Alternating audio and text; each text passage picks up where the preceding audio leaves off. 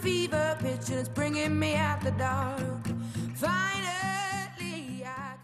La cabaña de Roberto ubicada en Santa Rosa cuenta con una capacidad para 4 a 6 personas, dos dormitorios, un baño, y se encuentra a 5 cuadras del centro de Santa Rosa de Calamuchita.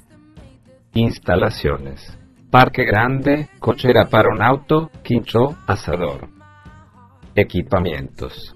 Televisión por cable, calefacción con gas natural, ventilador, cocina, heladera con refrigerador, aire acondicionado en dormitorio principal, microondas.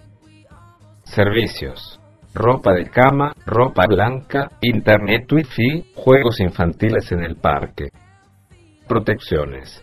Rejas perimetrales. Restricciones. Escaleras para el dormitorio matrimonial observaciones. Ubicada a 5 cuadras del centro, a una cuadra de la ruta y a 8 cuadras del río.